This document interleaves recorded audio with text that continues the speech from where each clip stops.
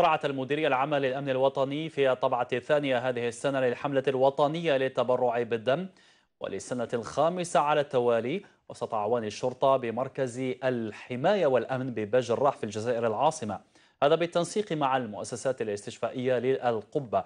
حيث انطلقت حملة التبرع بالدم وتستمر على مدار ثلاث أيام كما تدخل هذه المبادرة ذات الصلة بالجانب الإنساني وتضامن مع مختلف شرائح المجتمع لتحسيس المواطنين بضرورة التبرع بالدم لفائدة المرضى المتواجدين بالمستشفيات وتزويدهم بهذه المادة الحيوية الهامة في العلاج التغطية لوليد مهاجري. الطبعة الثانية حملة التبرع بالدم على مستوى مجموعة الحماية والأمن بالجراح هذا بالتنسيق مع المؤسسة الاستشفائية بالقبة. طبعا آه هذه الحملة سبقتها حملة الطبعة الأولى خلال شهر مارس. أين تم جمع ما يقارب 207 كيس من الدم. هذه العملية والمبادرة الخيرية تدخل في إطار آه تنشيط دشور التواصل مع مختلف فئات المجتمع.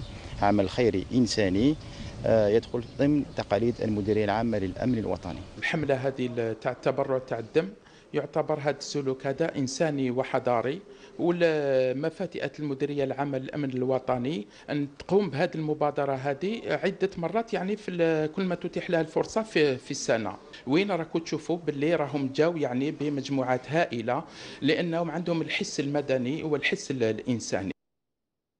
من جهتهم أعوان الشرطة الجزائرية كانوا مع الموعد واستحسنوا هذه المبادرة خاصة وأن عملية التبرع بالدم هي فعل أخلاقي وإنساني. هذه حاجة مليحة رانا متعودين عليها إحنا كل ما تكون هكا تبرع بالدم ولا زعما نكونوا من الأوائل. حاجة مليحة ونعاونوا بها كاين الناس اللي محتاجة هذا الدم.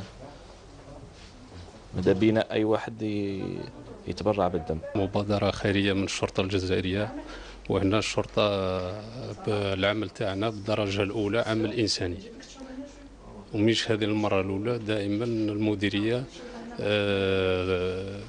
توصينا بالعمل الإنساني. وفائدة لينا كل كل شك نبذلوا الدم تاعنا وما تقدموا من أنفسكم من خير تجدوا عند الله من جانب الديني.